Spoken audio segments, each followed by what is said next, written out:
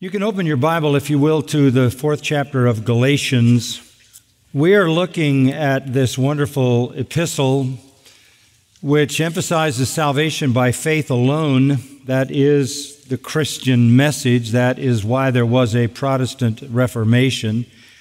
Salvation is not by faith plus works. It's not a cooperative effort between the sinner and God. God does a little and you do a little, and together it all works to come about that your sins will be forgiven and you can enter God's holy heaven.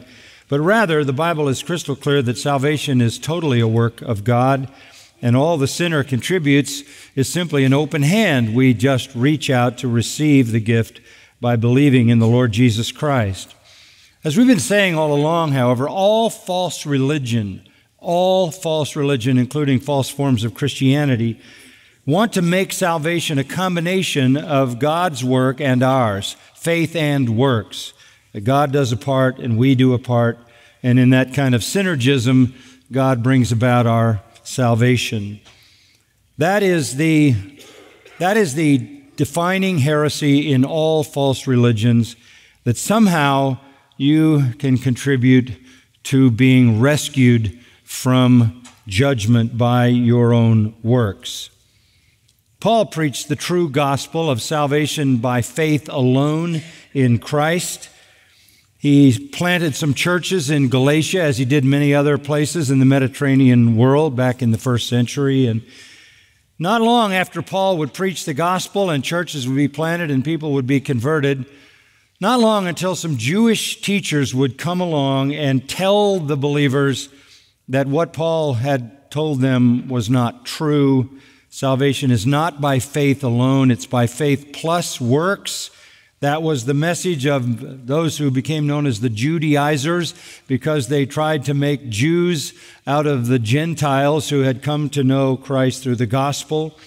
And what they were basically saying was, you have to keep the law of Moses. And by that, they meant the external law as it becomes clear in the passage today, the, the ceremonial laws, the ritual laws, the festival laws, the, the dates, the, the days, the years, the months, all of those things that were external behaviors and not the moral law of God.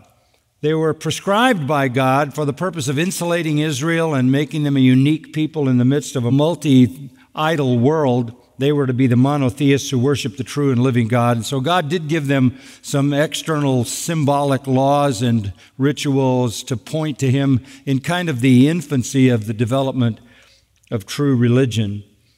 But when Christ came, all of those ABCs, all those elemental things ceased, and the bondage of the law was done, and Christ became the substance, and all that passed away as the mere shadow.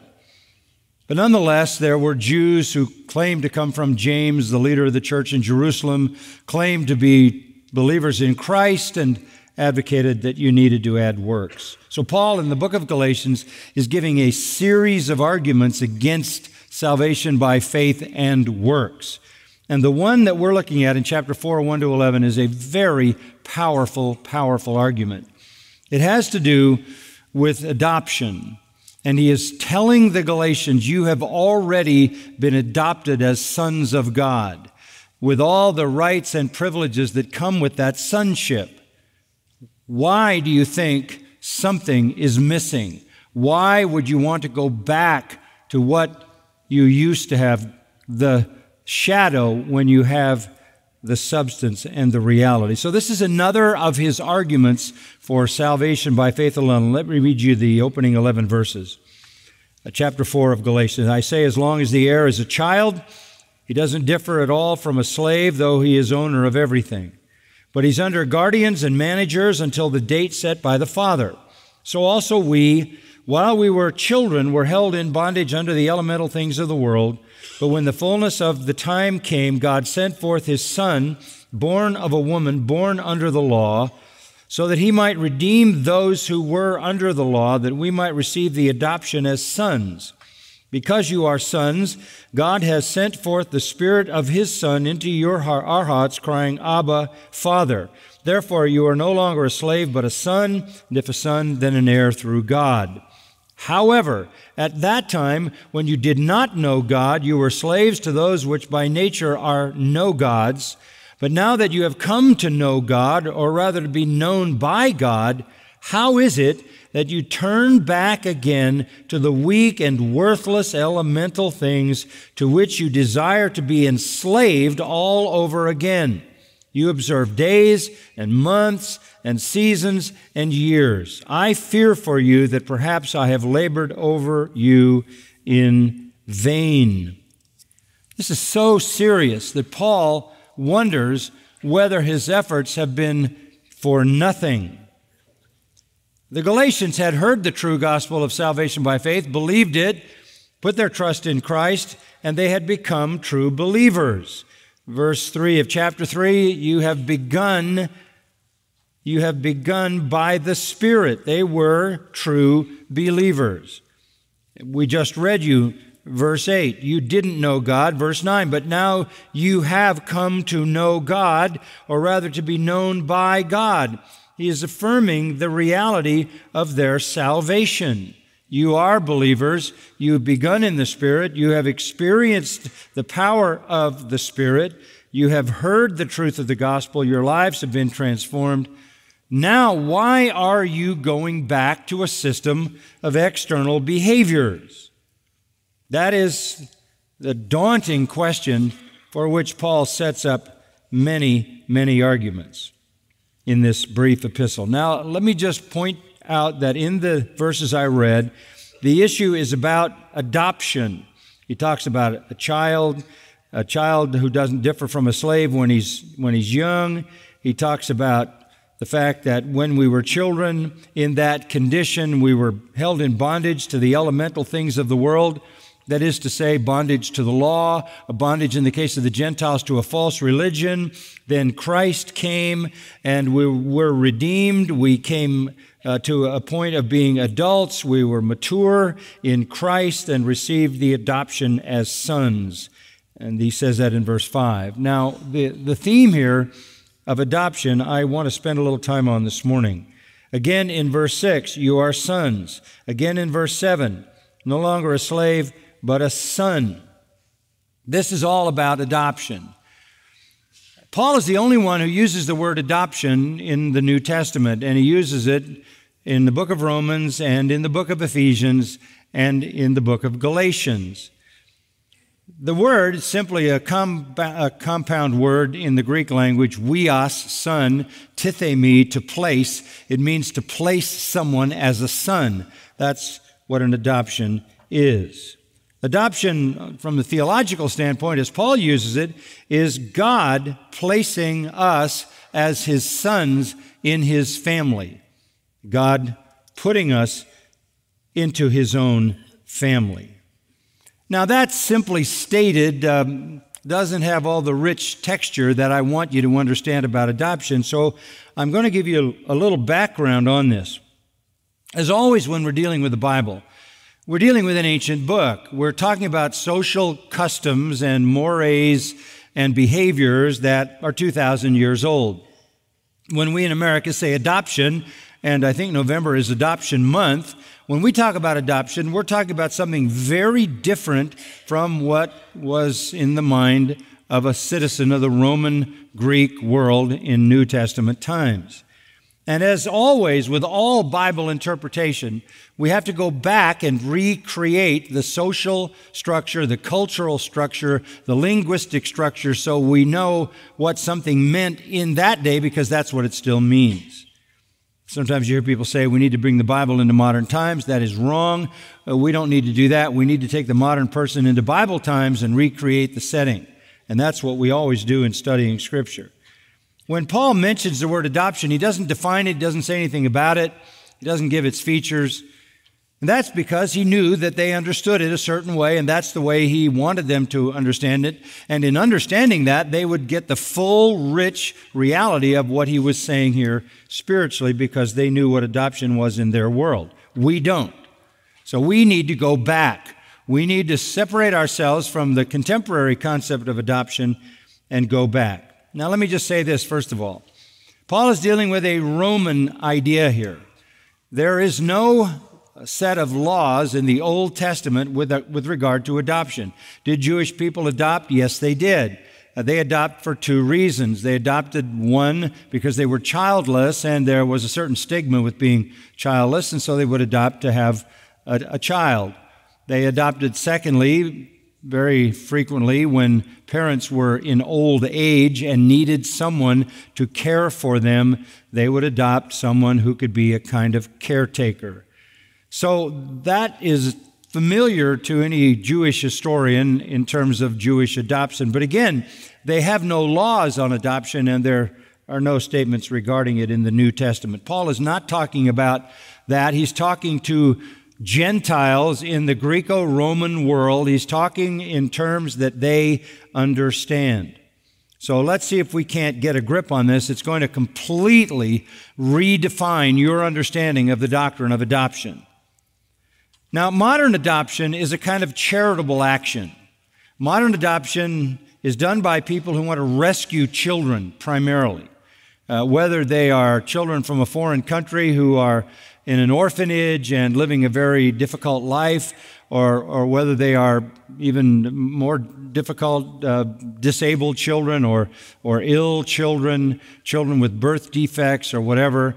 There are beloved um, Christian parents and, and others as well who want to relieve the uh, suffering of those children by getting them out of those orphanages, out of that uh, kind of uh, environment, and they bring them into their family as babies. There are, are, adoptions uh, of those um, babies who are born to mothers who didn't want to have an abortion but don't want to handle the child, and so those children are adopted. But typically speaking, adoption in the Western world and in our country is an adoption of babies or children. Small children uh, from foster homes may be adopted as well. But basically, people don't adopt adults. They do not adopt adults, they adopt children. In the ancient Roman world, they did not adopt children, they adopted adults. And they adopted male adults. Very rarely was a female adopted. That is why when Paul talks about adoption, he talks about sons, because adoption was done with male adult young men.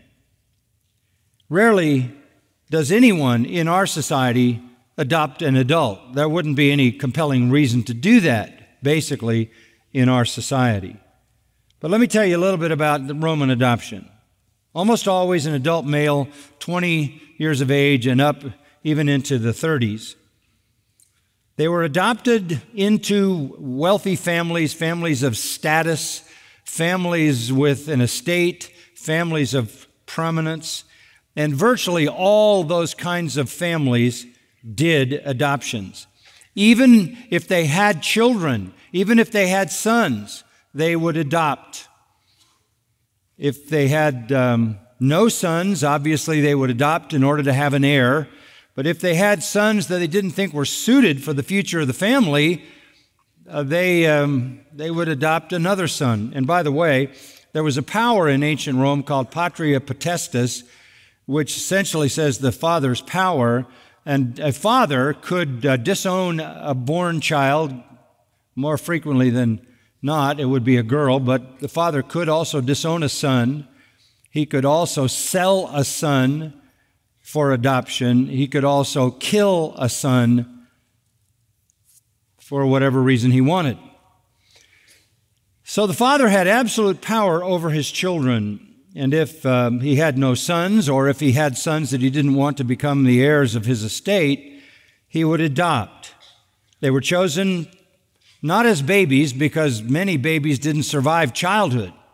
You wouldn't go through all the adoption to have a, a baby that would die. And furthermore, you didn't know what kind of a young man this baby would become. So they waited until they were in their 20s or 30s and they could see their leadership potential, their mental skills, their physical strength, their wisdom. They were looking for someone who would be the next patria familias, father of the family. Uh, the father wanted someone to take over the estate. The purpose was really singular to bring an heir into the family who was worthy of this estate and could guarantee the future of that estate going forward. And this would happen either because they had no son or they had no son they felt was qualified. And there were families who had more sons than uh, they needed. They would have uh, sons to carry on their line, and um, they would be happy to have one of their sons adopted by one of these patrician families, very often adopted out of the plebeian, the common families. In Roman times, the head of the family was both a manager of the family's estate, a, a bookkeeper, and a financial caretaker for the family's fortune, and a priest who basically ran the family religion, whatever gods they worshiped, whatever household gods, whatever forms of worship were part of that heritage were his responsibility. He was patri familias, the family father. And so when they adopted young men, they were looking for an heir who could step into that role. Very, very important. Be the keeper of the family's fortune and the keeper of the family's reputation in the future. Poor, again, less noble parents who had such desirable sons would gladly make those sons available to a noble family for a price. For a price. And the price could be very high. It was an honor, by the way, not a dishonor. It was an honorable act to give your son to one of the patrician families, one of the families of the senators, the, the people who were elite. And keep this in mind. Somebody might say, well, wait a minute, if you've got a really bright, sharp young son, maybe he could take the family he's in and elevate that family and move that family up the social ladder to make them one of the elite families. Couldn't, couldn't happen, didn't happen. There was an elite um, class of patricians in the Roman world that was essentially unapproachable and unavailable to the rest of the plebeian society. So, if you wanted to advance your capable son, this would be a great way to do that, and maybe the only way to elevate him. It wasn't secret, it was very public, it was very official. In fact, it was so official that at a high level it required Senate confirmation. Senate confirmation. A lot was involved. You're talking about wealthy families with estates and reputations, uh, many of them senators, um, many of them, by the way, emperors in Rome. Uh, so this had Senate involvement. It was a long, drawn out, very official, very formal ceremony, like a wedding. It was like, it was that public. It was that kind of celebration. And like a wedding, when the bride gives herself to the husband, uh, she doesn't intend to never speak to her family again. She doesn't intend to forget her family, even though they cleave together and create a union all their own. They continue to be connected to the family that was their birth family. They create a new family, but they have a connection to the family of the past in some way.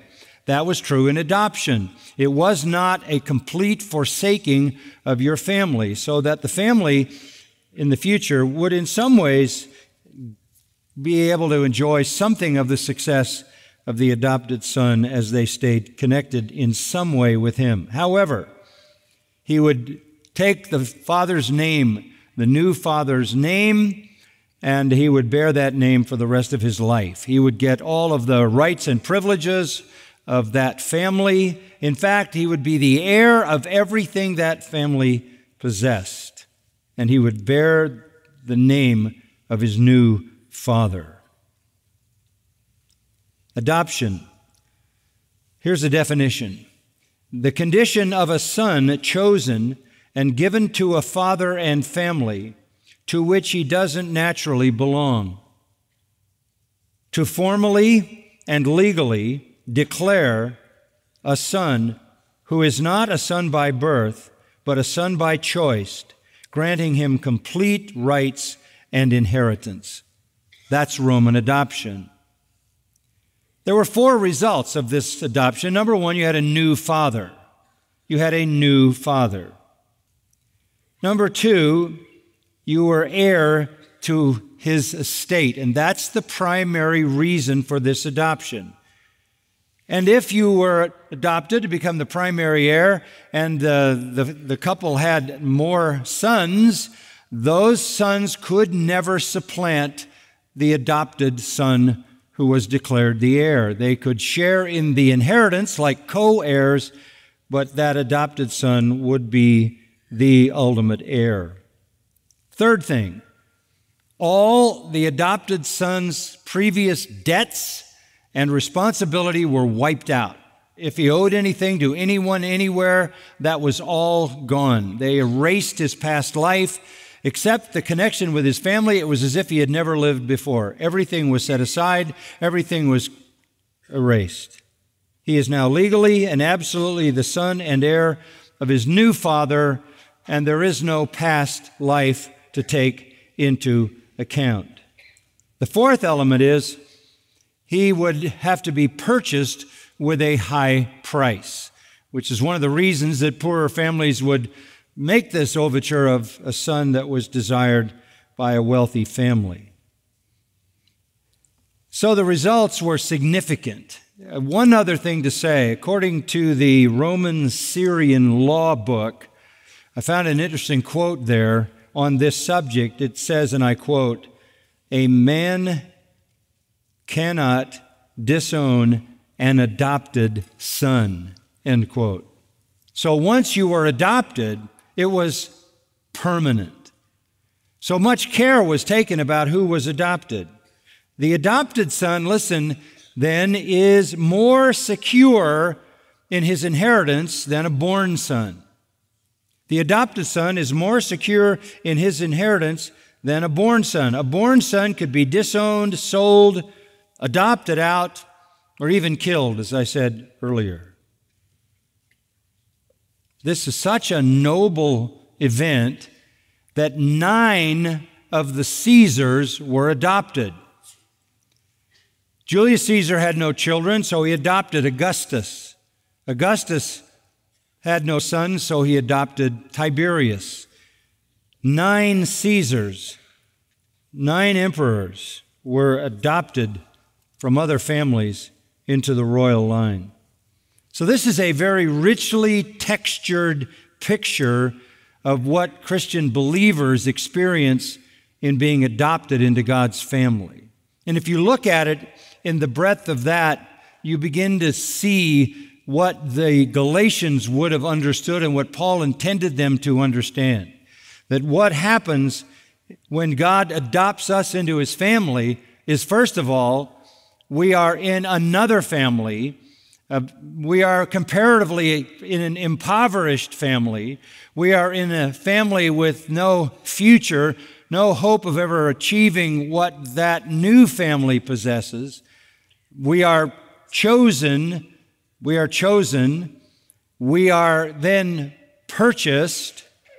We are then given the name of the new family we then become heirs of everything that that father possesses, and that can never change.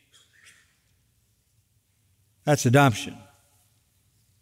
And we say, Abba, Father, we, we have a new father, and we're so intimately connected to him that we say, Papa, Daddy. It's that intense a relationship. And we have all the rights and privileges so that Jesus says in John 1:12, to those who believed in him, he gave the authority to be called sons of God. It is a position of authority. In the millennial kingdom, we will rule and reign over the world with Christ. In heaven, we will sit with him on his throne. We will be, as um, we have read in um, Romans 8, heirs and joint heirs with Christ of all that God possesses.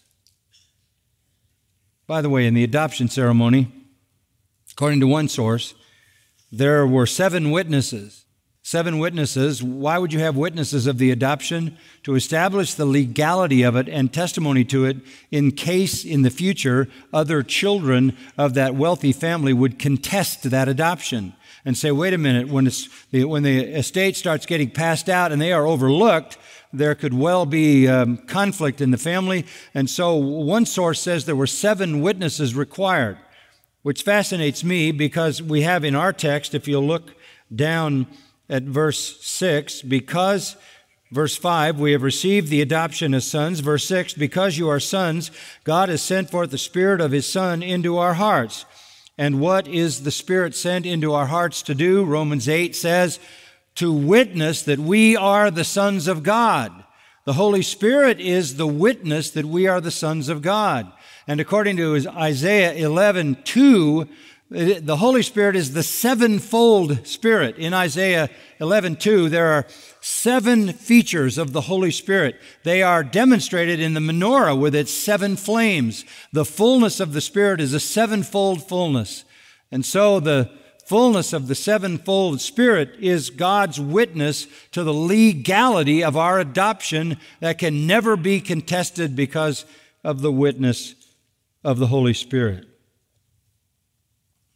We have seen the preparation for our sonship in the early verses, the realization of our sonship, verses 4 and 5, when we become adopted as sons, the confirmation of our sonship, verse 6, receiving the Spirit in our hearts, who witnesses with our spirit that we are the sons of God.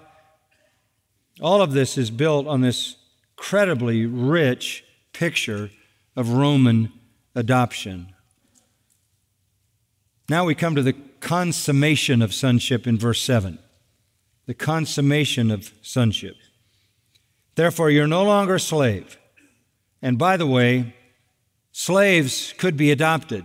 Both slaves and free men could be adopted. Slaves, by the way, were not all the kind of slaves you might think. Uh, many of them were highly educated, many of them were professionally skilled people. That was just their social status. You are no longer a slave, but a son, and here it comes. If a son, if a son, then an heir through God. The point of adoption was to give the estate to that adopted son. It was that he would be the heir. Through God, dia, by the immediate agency of God, God is choosing an heir. Think of your salvation that way. He chose you before the foundation of the world to be an heir of everything that he possesses. This is the magnanimous nature of the grace and love of God. This is astonishing. Astonishing. The kind of foolish trivia that you hear uh, from people who preach the quote unquote prosperity gospel about the fact that Jesus wants you to have a new car and a new house apart from being a lie, is um, worthless dirt compared to inheriting everything that God possesses in the glory of His eternal kingdom and presence. What do I care what kind of car I drive? What do I care about anything in this world compared to the glory that is before me? So, the point of all of this is that through God's choice and through God's power, we have become an heir. God the Father has chosen us, brought us to maturity in Christ, paid for us by the blood of Christ, made us sons and heirs, and it's all by love and grace. And here's the larger point this is what the gospel of faith did for you. This is what Christ gave you when you believed in Him. You have that inheritance. You are a son. You have been adopted. You have everything that God can give you. You have it all.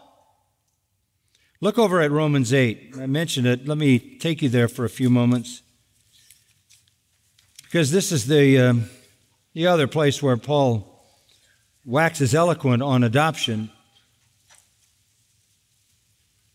We have um, been adopted as children of God, verse 15, sons of God, verse 14, children of God, verse 16, children of God, verse 17. And you say, well, we are heirs, verse 17, heirs of God, fellow heirs with Christ. What, do you, what does it mean to be an heir of God? It means to inherit everything God possesses. That's what it to inherit everything that God possesses. It will all be ours in the glory of heaven. And we are fellow heirs with Christ. That is to say, our inheritance is the same inheritance Christ receives, which is all that God possesses. You say, well, life's kind of tough here. I don't, I don't feel like an heir. I mean, I'm barely making it. Well, you will be glorified with him if you're willing to suffer with him. Verse 17 and verse 18 I consider the sufferings of this present time are not worthy to be compared with the glory that is to be revealed to us. Get your eyes where they need to be. Set your focus not on things on the earth, but things above. The suffering in this life is not worthy to be compared with the glory that is to be revealed to us, and that is the full glory of all of God's possessions. It's stunning, staggering promises. You say, well, how do I know I'm, how do I know I'm going to receive those? Go down to verse 28. We know that God causes all things to work together for good to those who love God, to those who are called according to his purpose. If you've been savingly called into his family as a son, there everything that happens in your life works together for good. Everything that happens in your life works together for good. And what is good?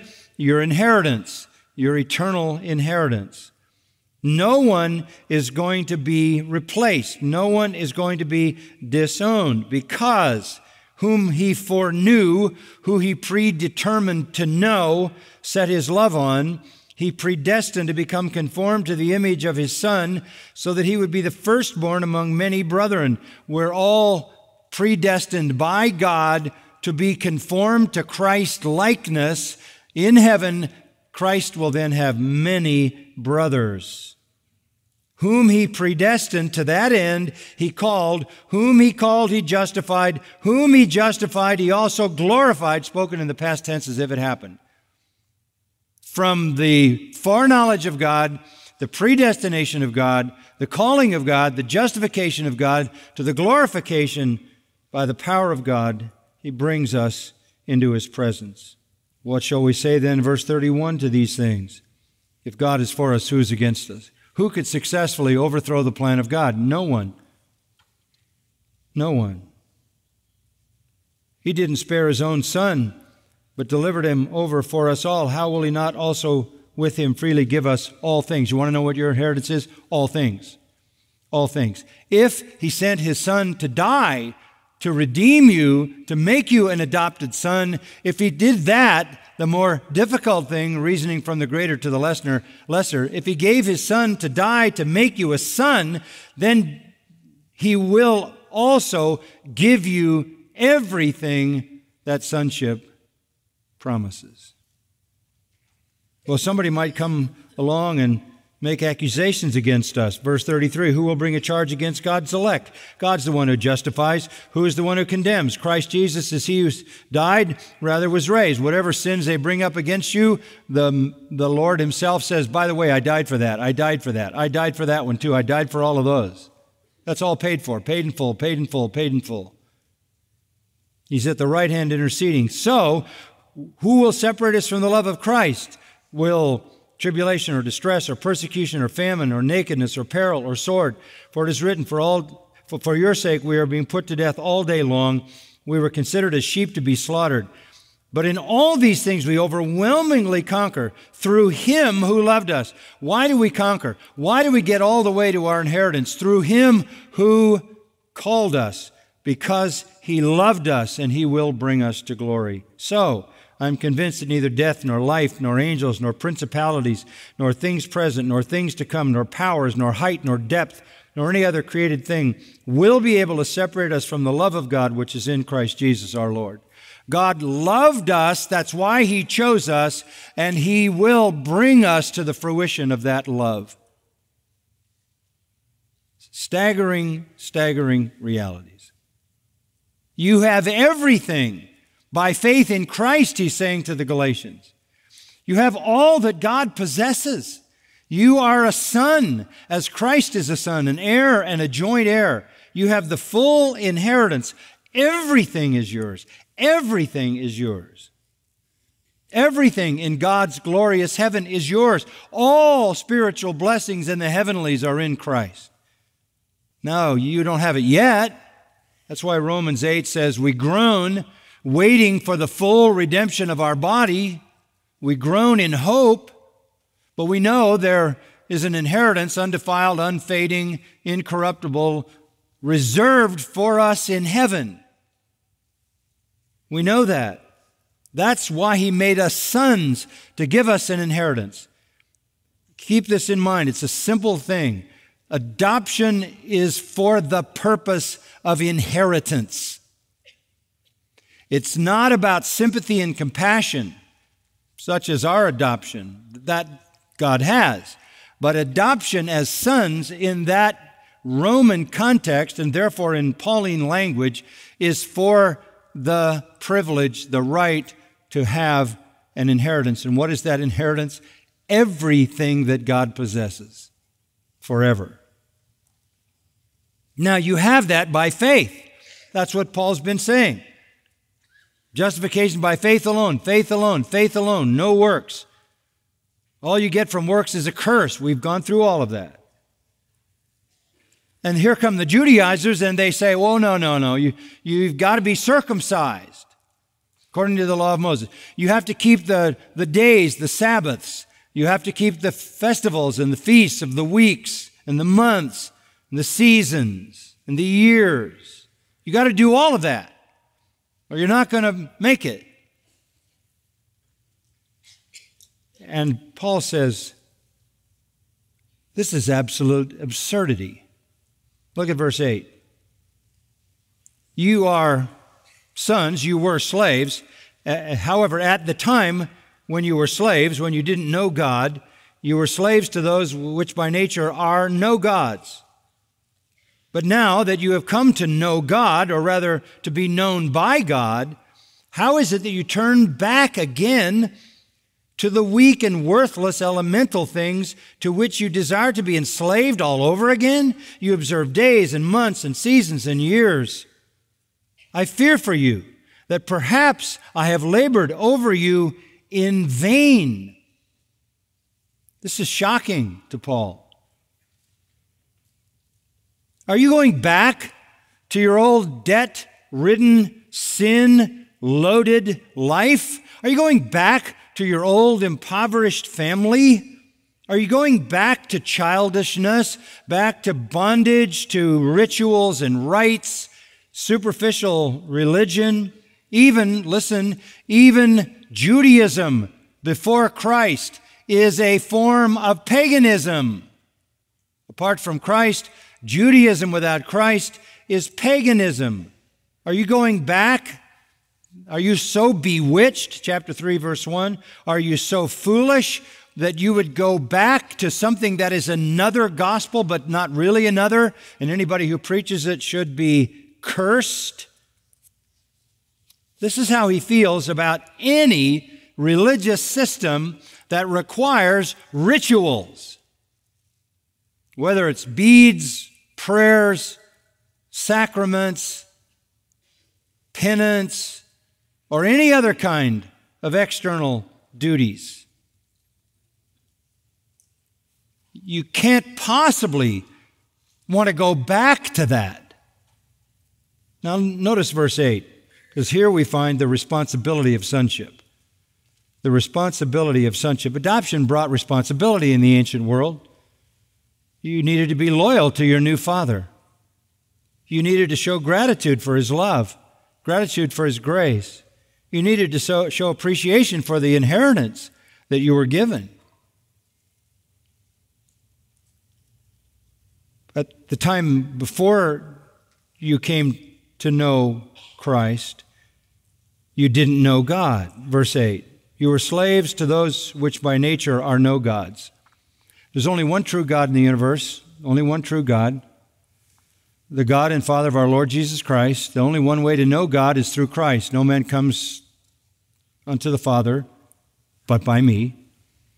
So, anybody who doesn't come to God, the one true God, through Christ, doesn't know God. People talk about God, they don't know God.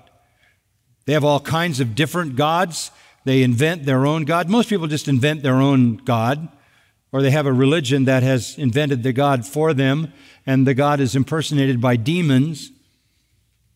But the whole world of religious people, apart from Christians, don't know God.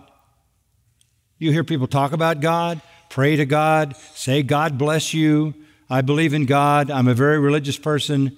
They don't know God unless they have come to the true God through faith in Jesus Christ. They don't know God. The one they think is God is the devil. They don't know God. When you didn't know God, in Ephesians 4,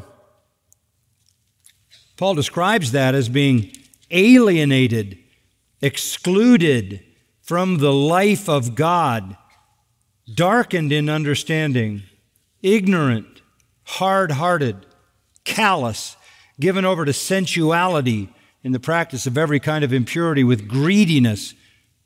You're greedy about your impurity. You don't know God.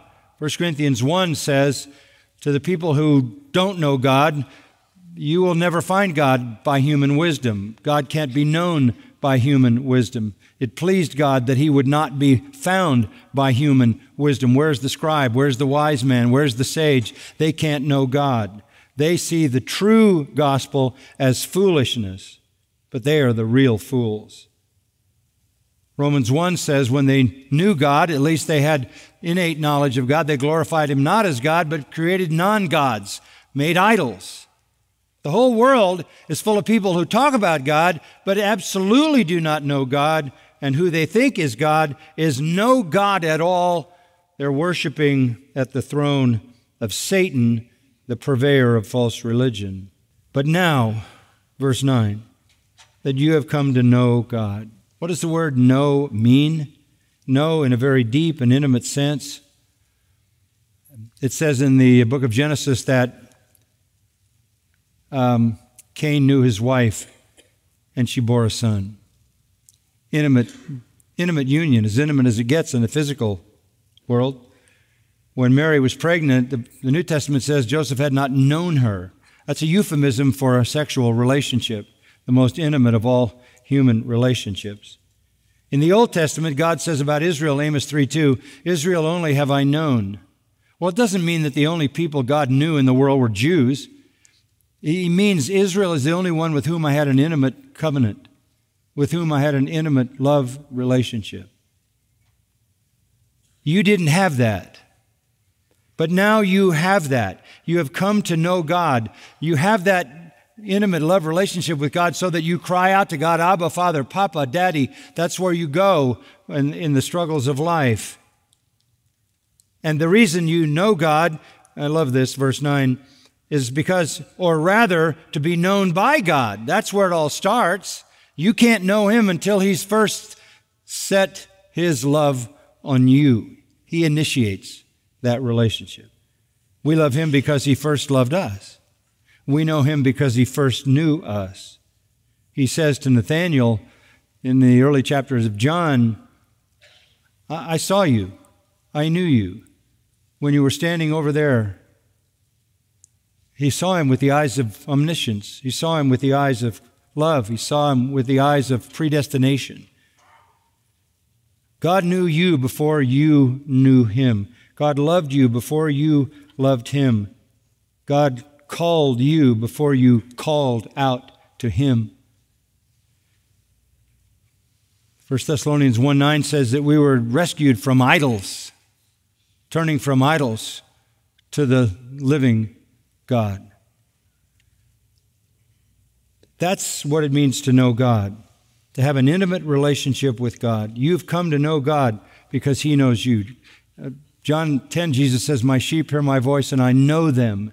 And he goes on to say, and they know me. And he means in this intimate relationship. You have come to know God. You are believers. And he's speaking, of course, in the main, as far as he knows. This is the wonder of salvation.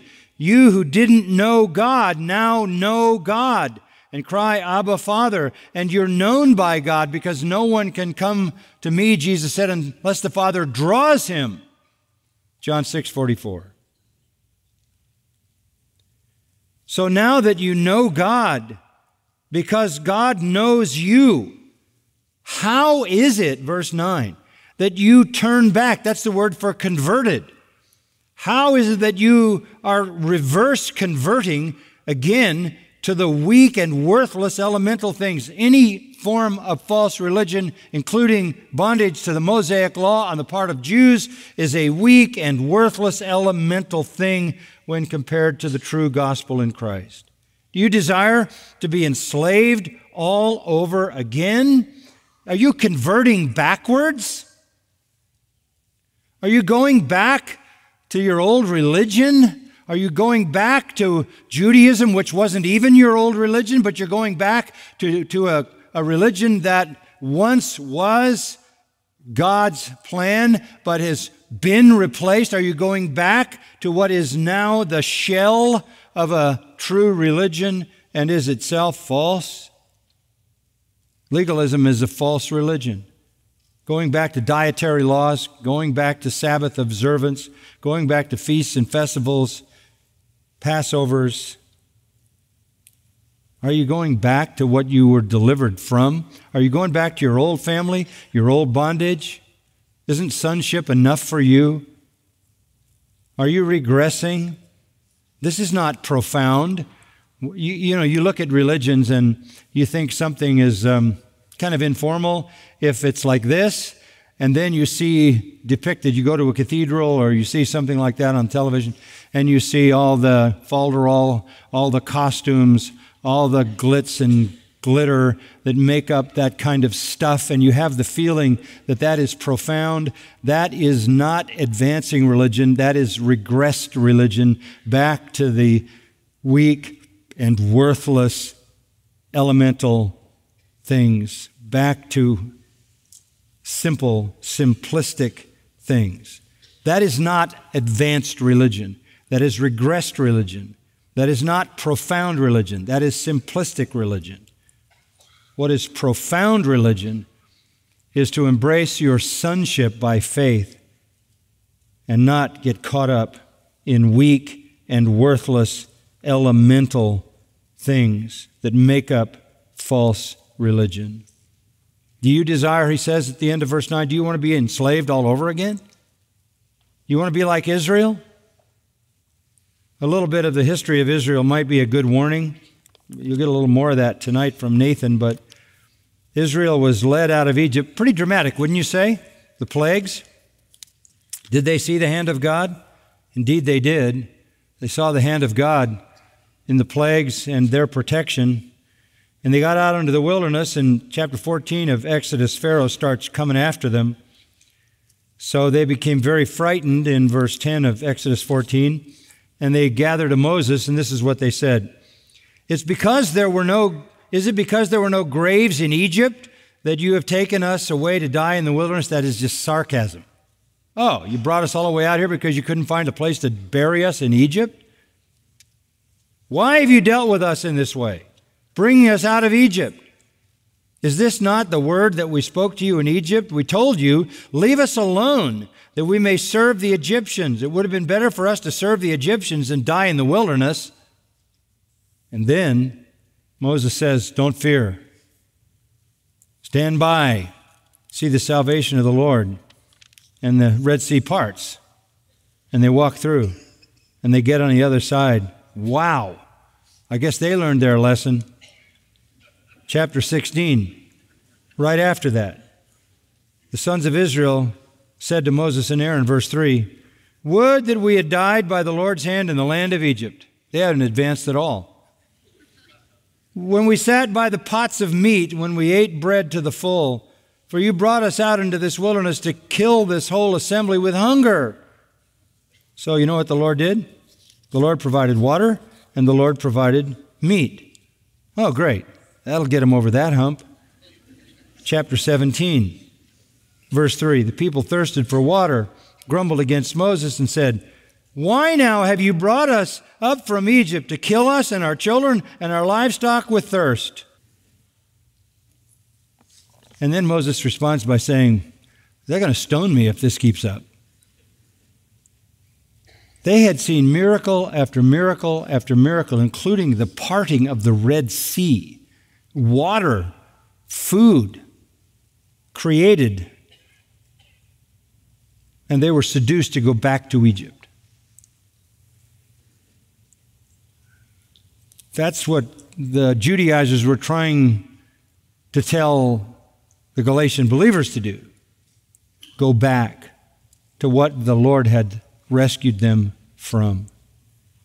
And what was it specifically? Verse 10 You observe days and months and seasons and years. They were beginning to absorb the Mosaic calendar, the external rituals and ceremonies. And listen, none of them, none of them is bound on the church anywhere in the entire New Testament.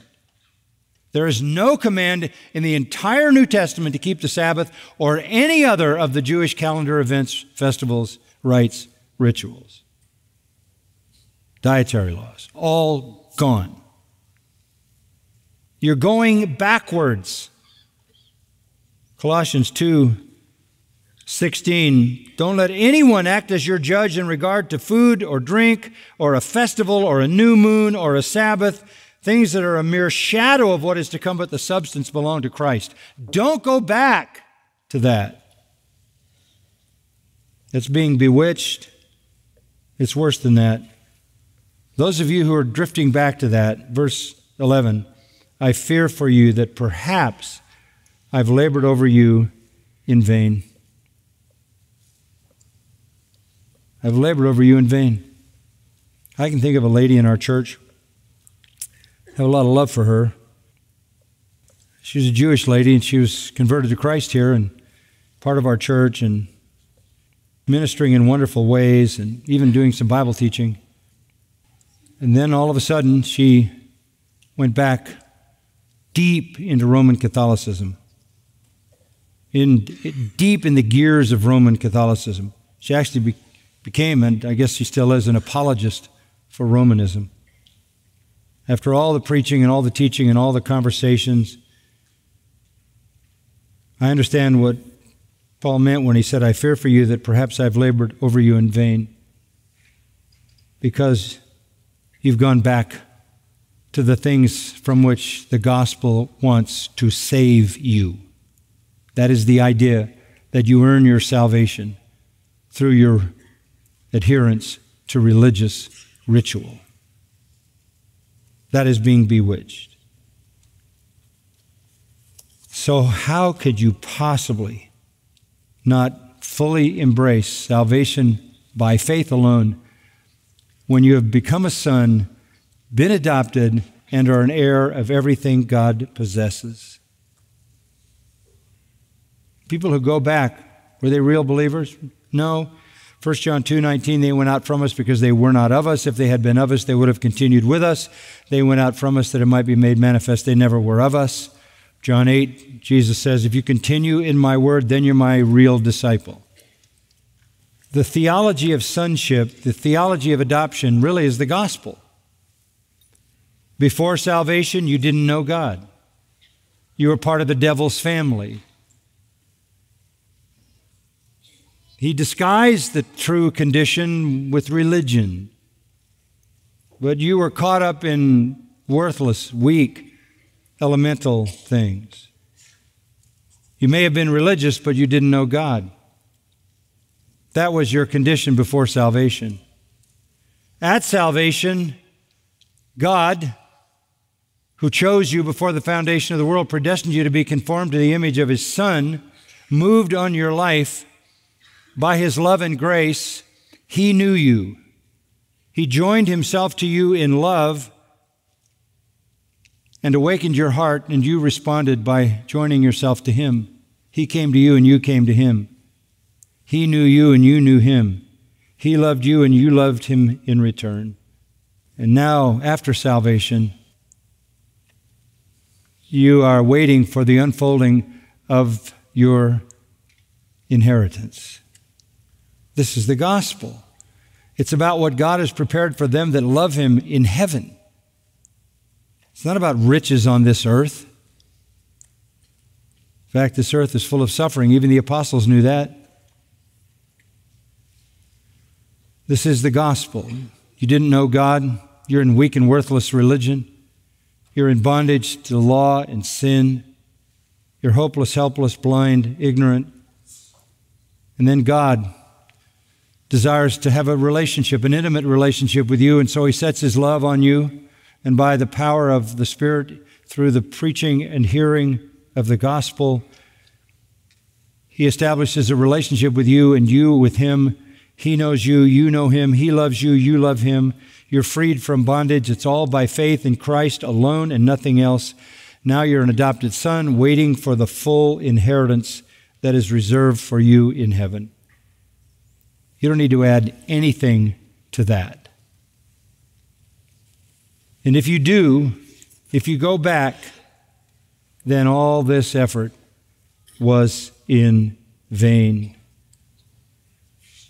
All your Past debts were canceled when you came to Christ. Your whole former life was erased. God remembers it no more. Your old family is gone. You have a brand new family. All of this because of the precious blood of Jesus Christ being applied as a payment for your sonship.